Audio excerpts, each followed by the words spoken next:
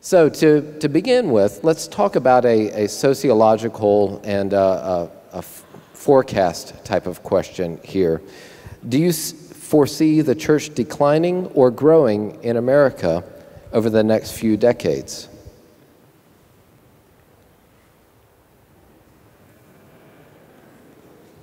Is yes.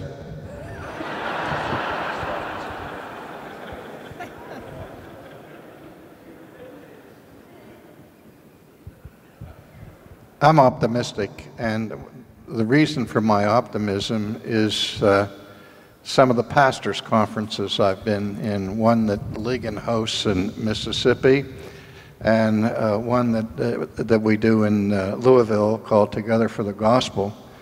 I don't know, we get four, five, six thousand pastors to that, and the vast majority of them are in their 20s and 30s. And uh, they're fired up about uh, the gospel, about expository preaching, about uh, uh, having a renewed commitment to their vocation as preachers of the Word of God. And that's also true at Twin Lakes and what we find at Ligonier. And so there are signs of a resurgence of, of, of serious commitment to biblical truth all around us. There are also bad signs of decay and disintegration. And that may always be the case. But uh, one of the things we have to remember is that the kingdom of God does not uh, extend simply to the borders of the United States. And whatever is happening here in America, we know for sure that in a global sense, there is a mighty growth and resurgence of the gospel, penetrating places that heretofore were uh, unvisited by the Reformation, such as in the Ukraine, for example, in Russia, in China, India, in Latin America, and certainly throughout Africa. So we're seeing wonderful things happening in Eastern Europe uh, uh, where, where the gospel is exploding. And So, what could be one of the threats to the church here in America?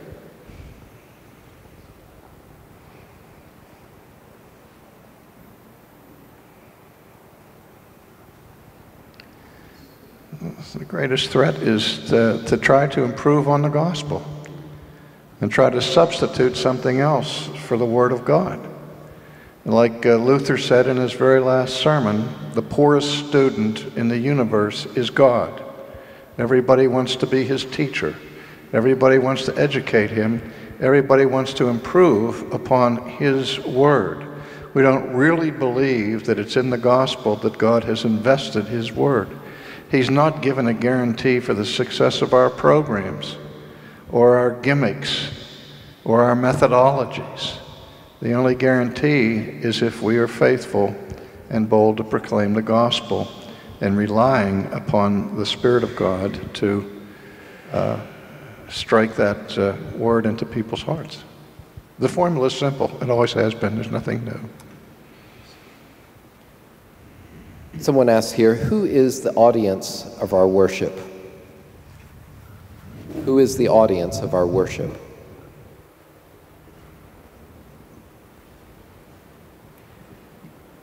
I think it's God. Is that right? God the Trinity. And then holy angels. And then the saints. Since in our worship, when we're singing, we instruct one another in psalms and address one another in psalms and hymns and spiritual songs. So the big answer is. Uh, multiplex, but the fundamental answer is that we're worshipping God the Trinity. We have, uh, doesn't John Owen have a great sermon on Ephesians 2.18? We have access to the Father by the Spirit through the blood of Christ. Um, so that's, that's a short answer. In light of that, what do we make of style in our ministries? Um, and the question is pertaining to seeker friendly ministries. What do we think of seeker friendly ministries? Seeker friendly ministries are ministries that are friendly to believers because only believers seek God. Unbelievers run from God, they're fugitives from God. The Bible tells us that no one in our natural state seeks after God. And so to style your worship for an unbeliever is an exercise in futility. And it denies the fundamental purpose of corporate worship is to gather the saints together to offer the sacrifice of praise to God. So our worship should be, first of all, planned to honor God, and second of all, for the edification of the saints. Because you don't start seeking God until you're converted.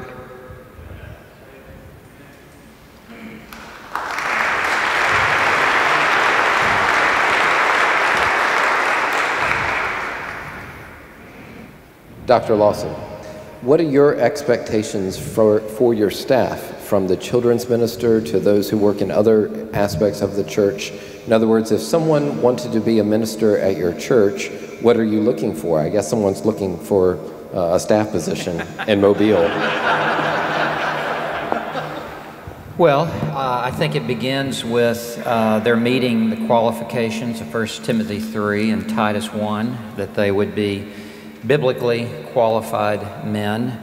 Uh, they would also need to um, hold to sound doctrine, as Titus 1 9 would say, and refute those who contradict. And so they would need to be in agreement with us in core Christian uh, values that would be uh, very reformed. And so it, it really would not work if I'm preaching in one direction and then they are pulling in a, in a totally different direction. So it would start at that point, and then they would be uh, pastors in the church uh, according to their giftedness. And um, as they would be in a, a supporting role uh, to me and just kind of the larger orbit of, of, of ministry, um, they would have specific assignments uh, where they would serve according to our need and their giftedness.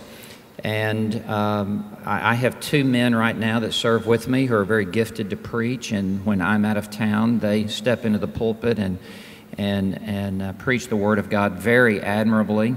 We would want them to disciple um, men in our church and to be available for counseling, uh, as well as uh, funerals and weddings and visiting the sick and um, all types of pastoral ministries. So I don't know if I'm answering the question um, as it's being asked, but uh, we would want them to be a full fledged uh, pastor, and we would want them um, hopefully to serve as an elder in our church. Uh, it would not be automatic that they would immediately, upon coming on as a pastor, immediately be an elder, but we would want to see their life and and uh, see the maturity in their life, and that might even have a factor as regarding their age. Um, but we would want them ideally to serve as, as a, one of a plurality of elders in our church.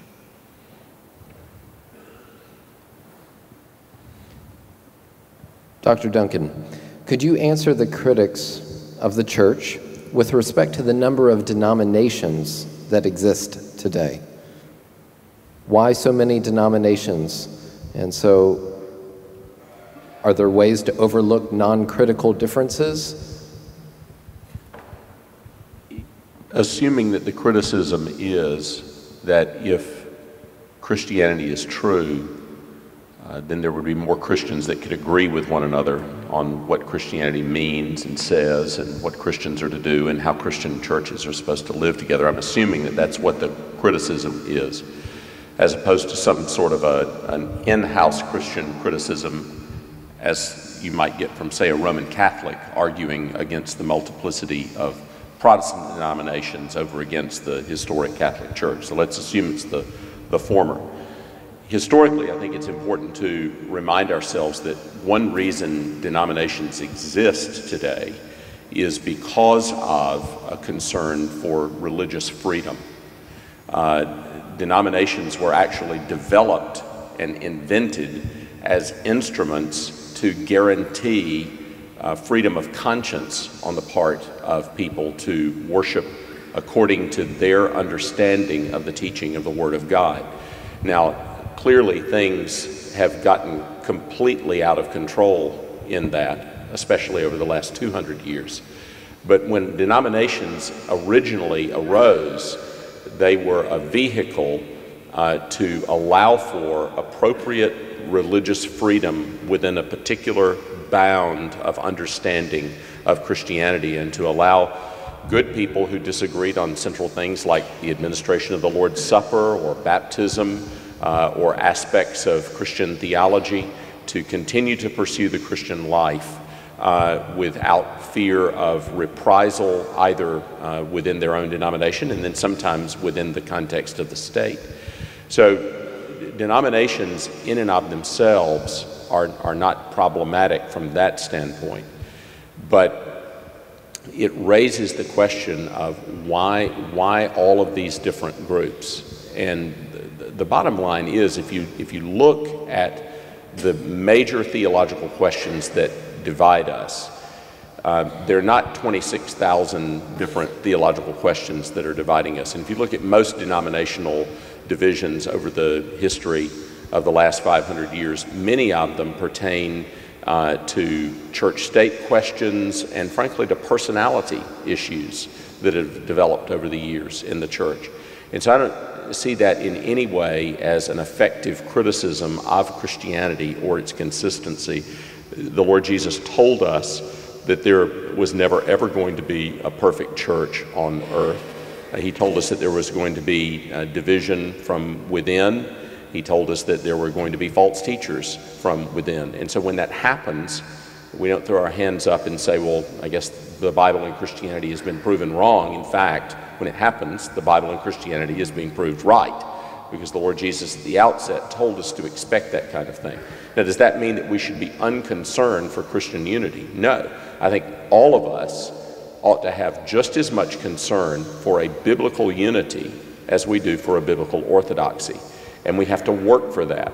That doesn't always mean uh, institutional or organizational or denominational union or unity. Sometimes it means working across uh, the aisle with like minded brethren uh, on points of common agreement and actually celebrating the fact that there are brothers who disagree with you but who care about the truth in that disagreement. That's one of the things about Together for the Gospel that we have attempted to uh, highlight is that we're together for the gospel not because we agree on a small portion of the truth and the rest doesn't matter, but we, because we believe together on the huge main things of the faith and that even in the areas where we disagree, we all recognize that those are important areas. Ecclesiology and sacraments, the doctrine of the church and the doctrine of the Lord's Supper and baptism, those are very, very important things. And we're frankly more comfortable working with brothers that disagree with us on that, but think the truth still matters, than we are with working with brothers who disagree with us on that and think it doesn't matter. And uh, I think that, that it's that spirit that's very important in our own fragmented time to highlight that we care about the truth that we hold in common, but we also honor brothers that differ with us on principle and still work with us. And we, we deal with them not by downplaying the importance of those differences, but by recognizing that there are certain things that we hold in common that enable us to work together in spite of those differences. And we want them to have strong biblical views on those differences, even if they differ from our own views. Was the role of the Holy Spirit different in the Old Testament versus the New Testament? Open for anyone. The, the best article on that, short article I think ever written, is found in the Sunday afternoon Sunday school classes that B.B. Warfield taught at Princeton to the students. It, they are contained in a little book called Faith and Life, and one of his lessons is called The Outpouring of the Holy Spirit, in which he rehearses the ministrations of the Holy Spirit in the Old Testament and in the New, and show four, shows four ways in which the Holy Spirit advances in the post Pentecost era beyond his activity in the Old Covenant but Warfield shows that all of those advanced areas were areas in which he was already active in the Old Covenant. In reference to Saul being selected as king, against God, God's decreed will, how does man's responsibility factor in God's sovereignty? Why are you looking at me? Oh, I don't know. What's up, Doc? Nothing, you crazy wabbit. That one's too easy for me to answer. Let uh, Steve handle that one. You let your chauffeur an, an, answer that one, huh? Well, obviously, um, Israel wanted to be like the world and to have a king. And in that sense, uh, God permitted Israel to go its own way and to choose its king. As R.C. wonderfully said this morning in the message, by God's permission or allowing that to occur, God still remains sovereign, and God could have stopped that and intervened at any point that He so chose. Um, I think also the distinction that R.C. made this morning between primary and secondary causality is extremely important. And when we say that God is sovereign, and as R.C. said, that uh, Obama is God's ordained choice, as Bush was, um, he's saying that in a primary way, that everything is ultimately under the purview of the sovereignty of God. But we are not denying uh, secondary causes that the devil works, and there are, there are sinful choices that people make, and people reap what they sow, and a sinful people um, receive often uh, a sinful leader that they deserve.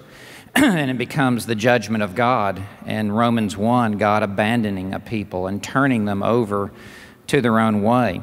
So, in no way, um, as it relates to Saul or any current uh, leader, when we say that God is sovereign and that this leader is there by divine appointment, in no way are we removing uh, a people, a society, a nation, or an individual from their direct accountability to a holy God and for their suffering for their own sinful choices. Uh, nevertheless, God has, uh, in His foreordination, um, has allowed this to come to pass. And I think the greatest example of all how these two lines intersect is in the cross. Um, there we see, I think, the most evil act that has ever occurred in the history of the world. Um, there we see um, the perfect, sinless Son of God intentionally, with premeditation, murdered and slaughtered publicly. Um, it, it, involved um, conspiracy, it was the result of gross civil injustice, uh, the mistrials, as well as the hatred uh, of the Jewish leaders, the indifference of the Roman leaders.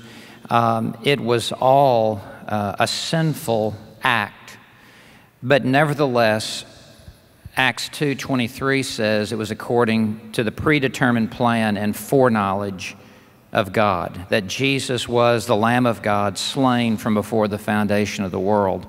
Uh, 1 Peter 1:20 that he was foreknown uh, before time began by the Father. And so there, there is the foreordination of God in the eternal decree of God, and yet there are sinful hands that, that bring that to pass. And, um, this, and again, it's the difference between the primary and, and the secondary cause. So Israel was in sin to want to be like the world and to have their own king and to choose a man simply by his outward appearance uh, rather than as God looks upon the heart with David. Uh, nevertheless, uh, what they meant for evil, God meant for good. Um, Genesis 50 20. So I, I think it, it speaks to the necessity that we see that all things under the purview of God's sovereignty. Some things directly God has for or has commanded to happen, yet God is not the author of evil and has allowed other things to happen. I mean, Jesus said to Judas, What you do, do quickly. Uh, yet without uh, Christ being the author of that sin. Can I add something there, Chris? Because I think the point, the second point that uh, Steve made there is really important if we're trying to help somebody. Um, if people have this as a theological problem, who actually are believers, I think methodologically, pastorally, the most important thing you can do is to bring them to Christ. Um, because there in Christ, the mystery is seen in its fullest form, and at the same time, the mystery is resolved. And most Christians are able to take that on board with respect to the Lord they love far easier than they're able to take it on board when you try to articulate the complexities of the theological discussion. And in this area, you would need to be God to know how God weaves these things together. You would need to be God in order to know how God weaves these things together. But there is a way for the Christian soul to be settled on these two things so that they become like uh, slightly different prescriptions in the spectacle lenses through which you view the unity of the world. Um, and I, personally, when I, whenever I encounter somebody who is a believer who is struggling with these things, I always take them back to the Gospels, to two places. One is the cross, with Peter's interpretation of it in Acts 2, which he undoubtedly got in the six week seminar between the resurrection and the ascension. And I take them to Matthew 11 25 to 30 and start with the last words about the invitation to come to Christ, to exercise every conceivable secondary causation you can muster to trust in Christ, and then show how underneath this Jesus is saying, I thank you, Father, Lord of heaven and earth, that you have hidden these things from the wise and understanding and revealed them to babes. And uh, my pastoral experience is that if people love the Lord, they're able to settle their souls in the truth of God exhibited in the Lord. And then slowly they can begin to work out the, the categories of theology that best help us to get our hands around these things. Um, I'm just saying, I think Steve's given a great answer. Question for each of you to answer, and um, we'll come right back to you, Dr. Ferguson, with this one. Please give us the two or three books that have impacted you most besides the Bible. Or the book, or the books. Oh, it, the books. The books. Uh, I wondered what you were trying to say. Um, the three books um, that have impacted me most. Uh, well, um, let's see. Uh, top of the list, I think, is the Institutes of the Christian Religion. That's probably more shaped the way I think than any other book. Uh, second uh, would probably be John Owen on uh, communion with God, volume two of his collected works on communion with the Trinity. Number three, I guess it would have to be my third John.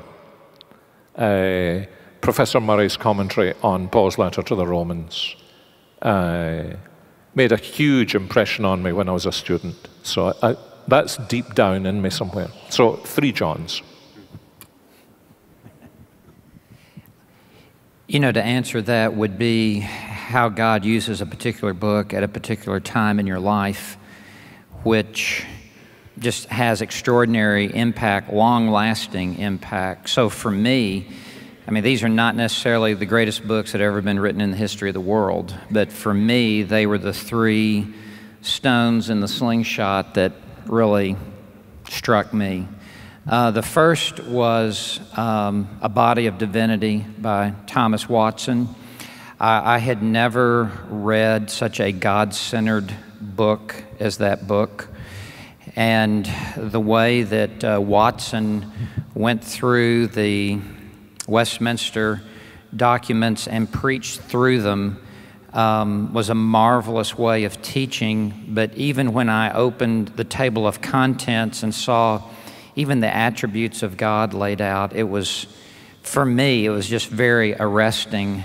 And it, it helped give me a God centered worldview and a God centered system of truth. Um, the second would be Iain Murray's little book, Forgotten Spurgeon, which for me helped me see that one who is a Calvinist can still and must still be an evangelist and a preacher of the Word of God. Um, in fact, the higher your theology, the stronger your preaching should be. And I saw that um, laid out by Murray in that book and it helped me not go into the direction of hyper Calvinism that would paralyze you. I would say, as a footnote, reading Spurgeon's sermons um, has absolutely electrified my heart and has taught me much about how to preach. And so I, I carry that influence around with me. And um, I love everything from the headings I, I, like structure in a message. I, I like seeing homiletical headings uh, to the grouping of subpoints to the last two to three pages of every Spurgeon sermon. He's just on fire, preaching the gospel, pleading with people to be saved, urging them to come to Christ. And so I think it's just, it's always been healthy for my heart and soul, just even reading the sermons of Charles Haddon Spurgeon. The third book I would say would be, I just have loved reading Arnold Dallimore's two volume biography of George Whitefield. Uh, when I read that, it just makes me want to get on the back of a horse and just ride up and down the eastern seacoast and you go into town squares and say, I'm here today to talk to you about your soul. And, you know, no one loved to preach more than Whitefield. And I, I don't know, I, I'm just captured by the, the spirit and the heart of, of Whitefield. And again, I see here is a Calvinist, here is a man with a high view of the sovereignty of God, and yet perhaps no man ever pushed his body to the limits that Whitefield did. He crossed the Atlantic Ocean 13 times. Um, he, he preached constantly and continually. Uh, he pled for people to be saved. He preached a strong gospel. So as I read the, that two volume biography, I don't know, there's a romantic pull in that to me to want to preach uh, the Word of God and be like Whitefield. Um, this past April, I was privileged to be able to, to stand over where he is buried under a pulpit in Newburyport, Massachusetts, and to lecture on George Whitefield uh, to a gathering of pastors, and then to go down into the basement where he is buried um, he preached his last sermon next door to the church, up on the second floor of the pastor's manse. Examine yourselves whether you be in the faith. Um, he said he wanted to be he wanted to die in the pulpit preaching, or to be buried under the last pulpit that he preached in, or to be buried under the next pulpit to which he would preach. I, I don't know. I, I, that just has a pull on my heart to want to be like that. So th- those three books have just lit matches, or have been matches that have lit a fire in me. Obviously, like Calvin, the Institutes, there are other books that are so profound and have brought structure to thinking. But, but I don't know, those three have been catalytic for me. That's a helpful way to answer the question. I, if I can cheat and do more than three, I'll go quick. Um, and I'll just move chronologically because these, again, wouldn't necessarily be the three most important books in terms of impacting and influencing me, but just looking chronologically, three books that have had an enormous influence on my life. First is a, a high school student reading Knowing God by J.I. Packer, um, introduced me to um, a, a rich theology of uh, the person of God that was coordinate with the good preaching that I was hearing on Sunday mornings from Paul Settle, who was my um, minister as, as a teenager. And I couldn't tell you how many times I've read Knowing God since then. I've, I've got four or five, six copies of it in paperback and marked up, and uh, that had a, a, huge impact on me. Going to seminary, uh, my first course in biblical theology was a was a course with a man named Palmer Robertson, and and all of these books, by the way, are little books, really comparatively. They're not big books like like Communion with God or or or Institutes of Christian Religion. They're relatively small books. Uh, but his book, Christ of the Covenants, introduced me to covenant theology. I'd grown up in a Presbyterian setting, but I, if you had asked me the day that I walked into his biblical theology class, what is covenant theology, I would not have had a clue what you were talking about, and I would have been a little bit suspicious, actually. And uh, so that book had a tremendous impact on me. In systematic theology, reading uh, John Murray's Redemption Accomplished and Applied pulled together a lot of things for me that I'd believed for a long time and expressed it with that capacious vocabulary of Murray. I mean, I, I remember having to have my dictionary open uh, to it as I worked through, and what's effulgence? What's that? And going back and reading these things. But uh, those which were given as Sunday school lessons originally, those lectures were superb, and uh, especially as they addressed the atonement. Uh, they helped me tremendously on issues of the extent of the atonement and the intent of the atonement and the nature of the atonement. And there's some remarkable phrases that uh, are still in my heart to this day that come from Professor Murray um, that in Christ our debts are not canceled, they are liquidated. There are just some amazing phrases um, that come right out of that book. So that book had a tremendous impact on me.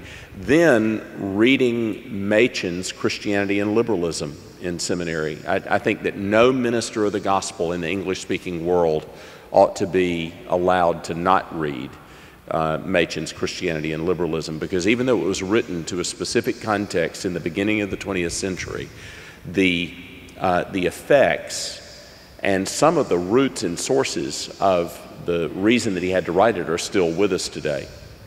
And in that regard, when I went to Edinburgh, in my first semester at Edinburgh, because James Barr had just come out with his book, Fundamentalism, and it was getting a lot of press in the mid 1980s, um, I felt that it was important for me uh, to read everything that James Barr had ever written, and it was a soul killing experience. Um, James Barr is an ex evangelical. He used to be the secretary of the Theological Students Fellowship at the University of Edinburgh.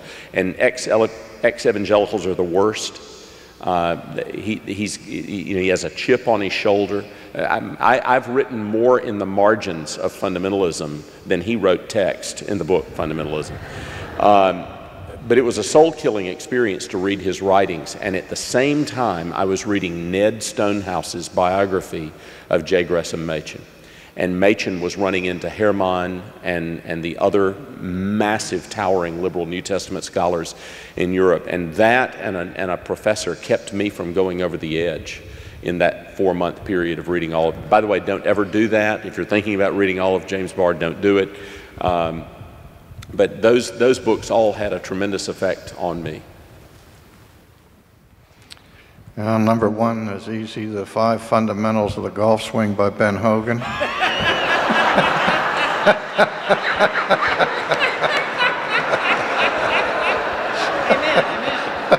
We're supposed to be talk, telling the truth, right?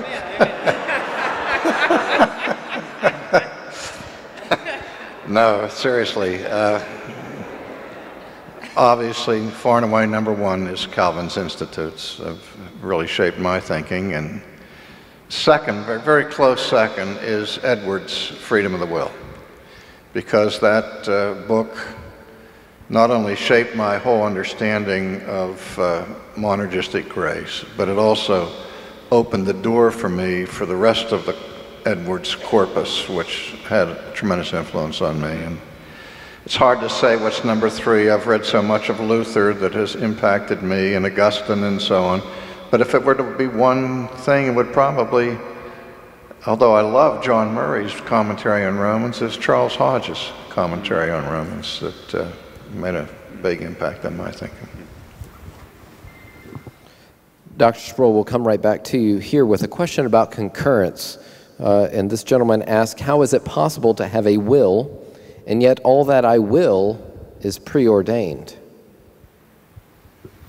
How is it possible that I have a will when all that I will is preordained? Well, it's preordained that I will what I will. That foreordination does not cancel out my will.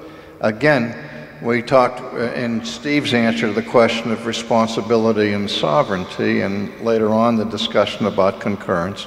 Uh, when you go back to that passage in Genesis 50 with respect to Joseph's statement, you meant it for evil, God meant it for good. Back at the end of the 19th century, one of the leading philosophers in Europe who developed the school of personalism uh, uh, was a man by the name of Edmund Husserl. And Husserl's two most famous students, who were two of the most impactful thinkers of the 20th century, were Jean Paul Sartre and Martin Heidegger. And in Husserl's thought, he was trying to discern what it is that distinguishes human beings from other animals. And he didn't go with the ordinary Homo sapiens of antiquity or uh, uh, man the, uh, the uh, Homo faber, man the worker of Karl Marx, but he said that the distinctive characteristic that makes human beings human is the capacity to act with intentionality. That is to choose to do something for a perceived purpose. And that's what Joseph was speaking of with respect to his brothers. You meant this. You had an intention in your heart to do something evil. God didn't coerce you to do it. It was your intent, your aim, your purpose, your desire, your inclination, your will. This is what you, in and of yourself, truly wanted to do. But over and above the decisions of your will and the inclination of your heart stands the sovereign work of God who had his intentions, which were utterly good and utterly righteous without a single, single taint of evil in it. Your intent was altogether wicked. God's intention working through your will was altogether good. Now, Sinclair has already said with respect to concurrence, we don't have any idea how God, in his sovereignty, is able to work through human volition and intent. Only that he does it and that his sovereignty does not excuse us from our culpability for doing what we intend to do and really want to do. Dr. Ferguson, could you give a brief history of the Scottish Covenanters and what they stood for? maybe, be, maybe because you're Scottish. How brief is brief? Um, let me start with this. One of the things that happens when the message of Scripture is rediscovered when it's been lost, when the message of the whole Bible is rediscovered, is that people find out how central to the Bible's message covenant is. That uh, God is a covenant making God, uh, that God is a covenant keeping God, and that God's people are his covenant people. Um, and that even although that language isn't used as much in the New Testament, uh, because the covenant is embodied now in the person and personal relationship with Jesus Christ, all of the language of being God's covenant people is transferred from the old covenant community to the new covenant community. So, a lot of the language that's used about the church in the New Testament is not novel to the New Testament, it's just uh, passed over from the old covenant community. So, one of the things that happened at the time of the Reformation when the Bible was rediscovered was that people began to see that the Bible was a covenant book. It's actually called the New Testament or covenant and the Old Testament or covenant. It was a covenant book about a covenant God who called his people to be a covenant people, who, in coming to faith in Jesus Christ, entered into personal covenant with him. And so, uh, in the wake of the Reformation, churches became conscious that they were God's covenant people and individuals became conscious that they were also God's covenant people. So the literature, particularly of the late 16th through the 17th century in Scotland, and actually even into the 18th century, is uh, punctuated by extant manuscripts of covenants that individuals made with the Lord. They realized He was a covenant making God who gave covenant promises that all of those covenant promises were yes and amen in Christ. And they wanted all those promises for themselves. And so they entered into covenant with God. So, by the time of the 17th century, in, the, in reformed communities in Scotland and England, you had a sense that God made a covenant in Jesus Christ with all of his people, that local communities, congregations, entered into covenant with him, and individuals entered into covenant with the Lord. So, this whole notion that you think about the Christian life and everything you do as a Christian within the context of your covenant relationship with God was far more pervasive in the way Christians thought than by and large it is in the way Christians think today. Now, uh, what then happened was that when the church in Scotland was reformed, as it grew within this covenant matrix, uh, the whole church, essentially, that is, the Church of Scotland and the people of Scotland, actually entered into a written covenant with God. And the national covenant uh, which many of these Christians signed in their own blood, uh, was uh, written and signed in 1638 um, and became very much a, a, just the dominant way in which Scottish Christians thought about themselves, rightly or wrongly. Uh, for example, Samuel Rutherford believed that in history there had been only two nations who had ever entered into covenant with Jehovah. One was Israel, and the next one along was Scotland. That sounds like Scottish people rather blowing their own trumpet, but the, the people as a whole, not everybody, the people as a whole had entered into covenant with God. That covenant then was enlarged in 1643 in what was called the Solemn League and Covenant, which was a relationship then between Scotland and England in which the English were expected to enter into covenant.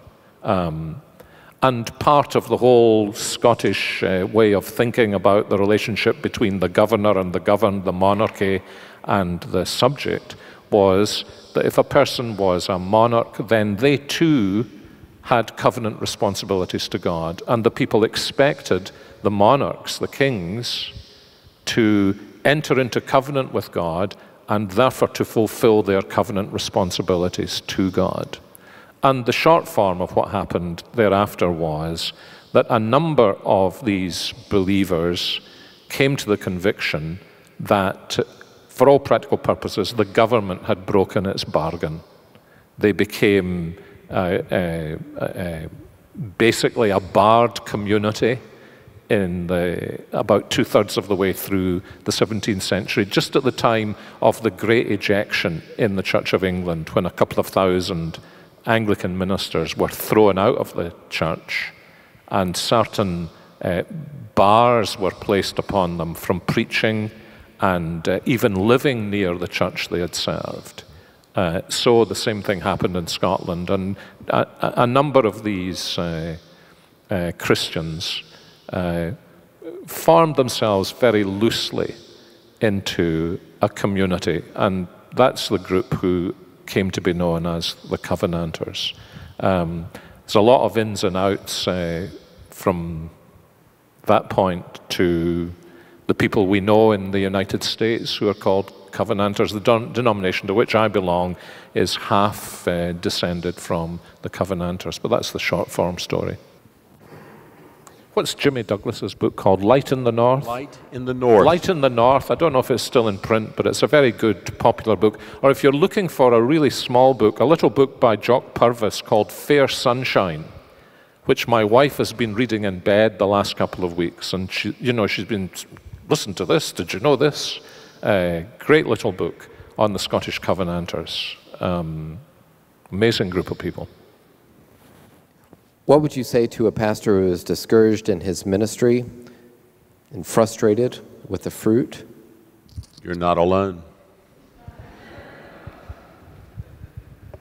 I, I, the, to be a faithful Christian minister is to, um,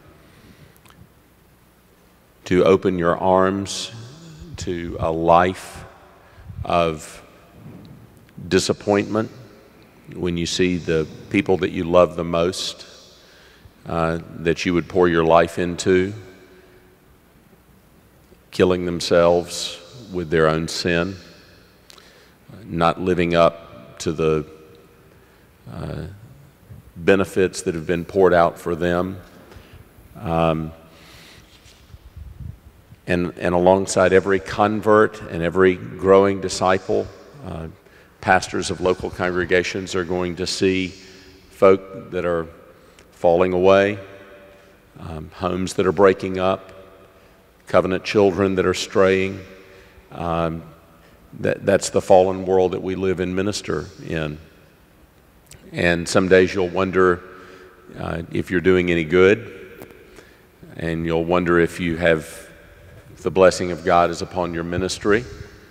Um, because ultimately we cannot see the fruit of what we're doing now. And some things that we might actually take comfort from later on down the road may turn out to be empty comforts. And some things that may discourage us now may well down the road be something that the Lord is in. And so we have to wait for our report card in heaven and, uh, and strive to be faithful here. I think that's one reason that ministerial fraternals are so important because we need one another. Um, it can be discouraging, and we need to have brothers that we can unburden ourselves with and that we can share our mutual discouragements with, and we can spur one another on to love and good deeds because it's hard work, because it's heart work. And, and the heart is deceitful and desperately wicked. And God's called us to sow in that soil. And it's, it's never, ever going to be easy work if it's done right. I think that's absolutely very important that we understand that we're not alone and we need to encourage one another. but there's a couple other things I'd like to add to that. I, I always encourage uh, pastors to revisit their vocation.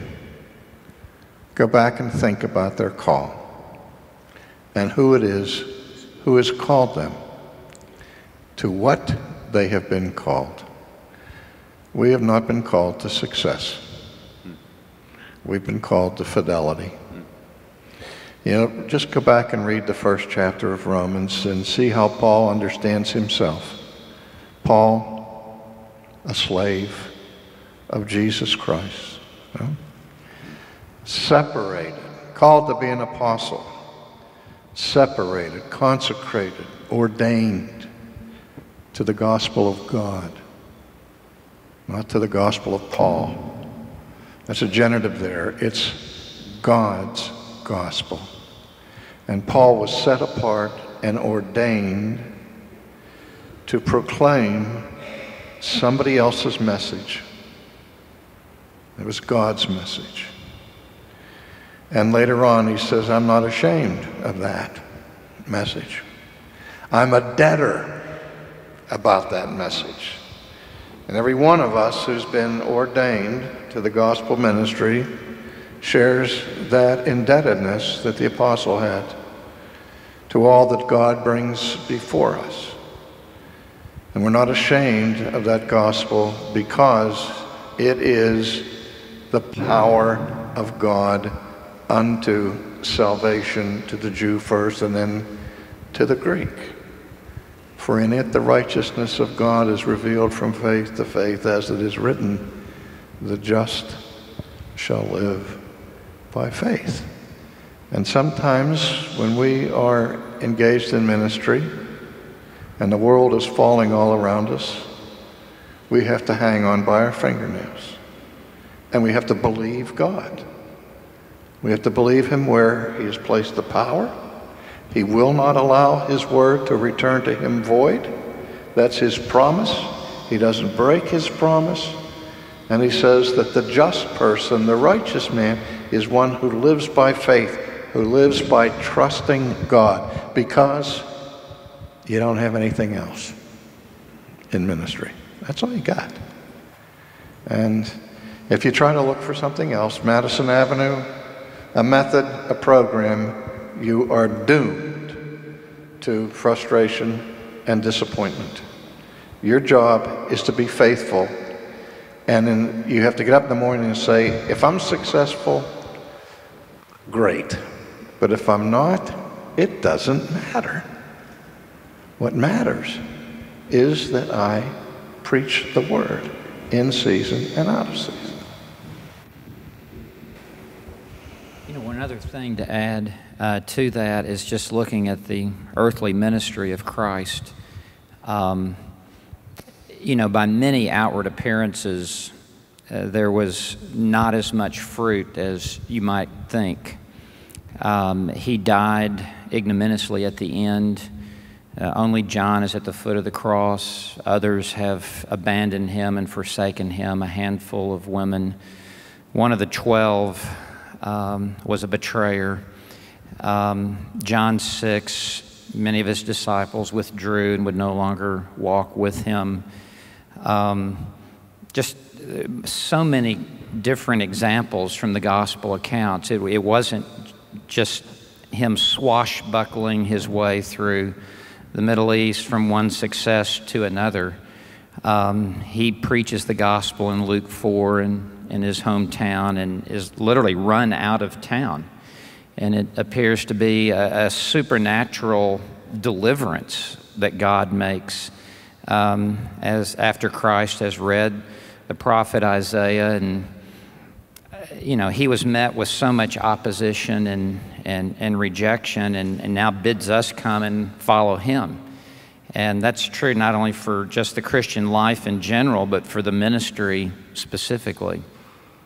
So I think that there's encouragement for us to draw from just the example of our Lord. I mean, we all want to be like him, and we read the three and a half years of his public ministry, and it, it wasn't just a, a, glowing evangelical success story. Um, it, he was met with much disappointment, heartache, and um, not a lot of fruit. In fact, he, you know, he says in John 4 12, 13, and 14, you know, greater works than these shall you do, meaning they will have greater an extent than the smaller confinement of his own earthly ministry. So there's been some discourage, uh, encouragement uh, in that for me. For ministers that are discouraged in their ministry, the one book that I would recommend more than any other book is a little book again Charity and Its Fruits by Jonathan Edwards. His exposition of 1 Corinthians 13 you'll never read anything like it. And uh, talk about a man who, who was driven out of his pulpit and who was slandered beyond words. It was Edwards. I was just thinking when Steve was speaking there that our Lord had actually probably the shortest first ministry in the entire history of the Christian church, um, which is a, you, you know, the Lord is far more interested in what He's making us than in our success levels, isn't He? Uh, you know, su- success and prominence is a, is, is a divine accident. Um, and, and we need to forget about it, I think. Just forget about it. Uh, you, you are where you are. Uh, that's the most important place for you to be. And so you resist the discouragements um, as though the discouragements were accidents of history. Um, but if you believe in the sovereignty of God, they're not accidents of history, they're part of the plan. And, and because you are saying to your congregation, Dear saints, don't think it's a strange thing that you're going through the fiery trial, then it shouldn't be a strange thing that the person who's saying to the congregation, don't think it's a strange thing that you go through the fiery trial. Should go through the fiery trial. You know, I'm sure other brethren have been like me. I've been sitting listening to somebody pour it all out on me, and I'm sitting there thinking, if you had any idea what I'm going through just now, you would never have come to see me about this. Um, I mean, that's, that's definitive of the ministry. Um, it's not strange that there are discouragements.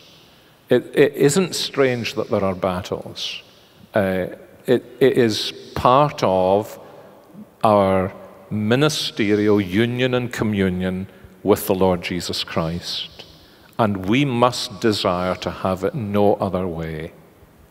Um, because we have, he, is, he is wanting us to learn that He has put the treasure of the gospel in jars of clay so that when the clay jars are broken, the light of the glory of the gospel may shine, and the power may be seen, and the glory may be seen to belong to him and, and not to us. It actually is the way it is. Um, and I think I would say, in my experience, often when members of the congregation think things are going really great and there are all kinds of things that are encouraging them, it is actually because they're not the leader of the congregation. Because it's definitive of being the leader that your heart is breaking over any of the sheep who are straying, um, or over any coolness. Um, and, you know, I would like to shout from the rooftops don't be deceived by the numbers you read in the congregations of the great ones. And they're the only ones who are ever interviewed in the magazines we get sent to us. No, no pastor of a congregation of 125 people who's been faithfully there for 25 years is interviewed in those things. That's an ungodly model that's being propagated on us. You just need to read the, you just need to look at the numbers. You know, Dr. So and so is uh, the pastor of the 29,000 member congregation of X, Y, and Z, and he preaches to 14,000 people on a Sunday. Amazing, 14,000 people. How can the man sleep on a Saturday night when he knows that 15,000 of his members don't give a monkey's hoot about coming to listen to the preaching of the word? So we mustn't be taken in by this. We mustn't be taken in by this and think the grass is greener, greener on the other side and, and just allow to permeate our beings. Uh, I, I just so often turn back to 2 Corinthians chapter 4 that uh, we share in union with Christ in his death in order that we may share in his resurrection. That death works in us in order that life may work in others. And that that's how it is in union with the crucified and risen Lord. I had a, I had a colleague who, I don't know, he was ever in pastoral ministry, just wonderful scholar, wonderful Christian man, all his life a seminary teacher, uh, and some of you would recognize his name. He said to me one day, he said, Do you know, I sometimes wonder if I should go into pastoral ministry, just, you know, just for a year or two, so just, just to end my ministry. And I would say to him, You know, I, I always carry two very small white pills with me. I will give them to you, take them with a glass of water, and go and lie down in a darkened room, and half an hour you'll feel much better and you'll get rid of this idea. He just, it was not his calling. So one day he said to me, he said, uh, he said, is there any real difference between being a seminary professor and, and, you know, being in pastoral ministry? And I said, it's like this. You know these magicians you see on television, and they put a body in the box, and then they start sticking swords through the body. When you're a seminary professor, you're the magician.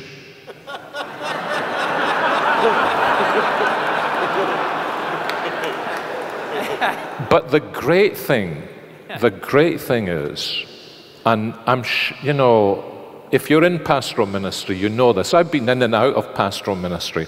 My friends like Ligon, uh, uh, we have friends who will say about, uh, you know, when they're discussing how do you survive in pastoral ministry, they say, well, you leave it for a wee while and go and teach in a seminary, and then you come back to it. Um, but the, the, it, it's definitive of pastoral ministry that the sword goes through you.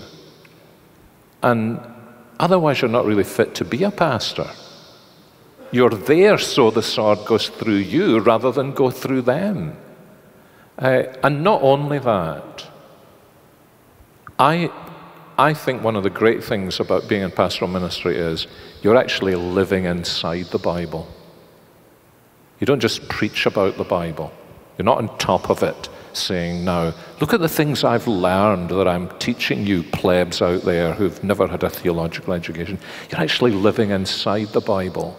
And all the aches and pains, they're going right through you. And that, at the end of the day, is what brings fruitfulness in ministry and brings broken-hearted people to pastors. Really. Isn't that the story of 2 Corinthians 11? You know, after Paul ends that long string of things that he's endured for the gospel, talking to the Corinthians who are questioning his credentials for ministry. Now, eh, you know, if, if I had been able to say the list of things that I had done for the Lord, you know, five times I was beaten with 39 lashes and with rods and stoned and shipwrecked and all this. At the end of that speech, I would have said, and none of you have done a millionth of what I've done for the Lord Jesus Christ. But at the end of that long recitation, he says, Who is weak without my being weak? And who is led into sin without my intense concern? I have nothing to boast of but what pertains to my weakness. And it's, it is a shocking, it's a shocking turn because they've been telling him that he doesn't have the credentials. And he lays the credentials out and he says, having experienced what I've experienced, this is what I've learned from it. When you're weak, I'm weak. When you're struggling with sin, there's no one in the world that's more concerned for you than me. It's an amazing story of, of pastoral dying to self and union with Christ. Thank you all for those, uh, those answers.